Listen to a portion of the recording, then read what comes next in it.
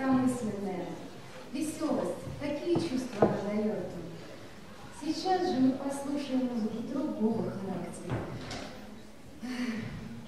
Выступает Дарья Яшина, класс преподавателя Алиевой Алины Борисовны, концертмейстер Марина Цыганова.